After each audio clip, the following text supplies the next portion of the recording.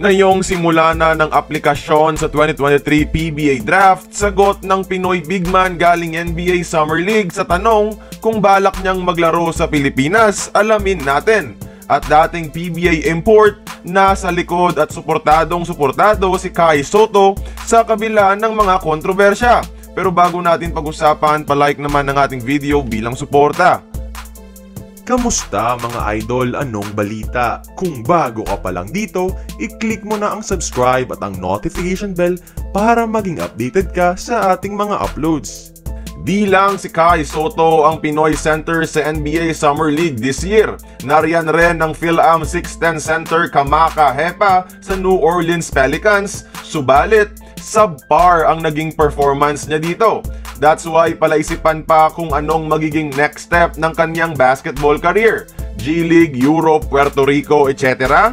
Ayon sa isang local website, Kamaka is considering an overseas opportunity pero noong tinanong about the possibility sa PBA dahil sa kanyang Pinoy heritage, ang sagot lamang ng big man ay, No, not yet, I don't know. Well, on my interpretation mga idol, parang hindi ang sagot pero he's not closing the doors. It's not shocking naman since noon pa man, ilang beses na niyang inayawan ang gilas. Although someone with the size and shooting as him could become an immediate impact player to MVP candidate sana sa PBA. Ni Real Talk naman ni Chot Reyes si Kai Soto sabing Jordan Clarkson is an NBA player, Kai is not he needs to spend time with Gilas to make an impact. Sinang-ayunan naman ito ng former PBA import at good friend ni Kai Soto na si Tagalog Papi Lester Prosper.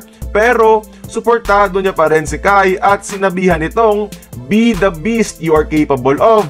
A lot of people are looking up to you. Put that jersey on, young king, and go to work. Tama nga naman si Chot mga idol and it should be a challenge para kay Kai Soto. Gilas ang best avenue niya to get the exposure he deserves. Kailangan niya munang ipakita sa mga scouts na kaya niyang mag-dominate with the national team.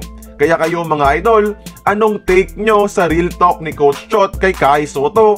And would you ever want to see Kamaka Hepa sa PBA? Join the conversation, magkomento lamang sa ibaba.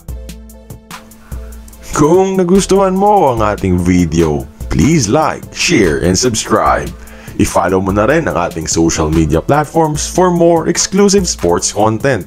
Until then, this has been Courtside Buckets. See you on the next one.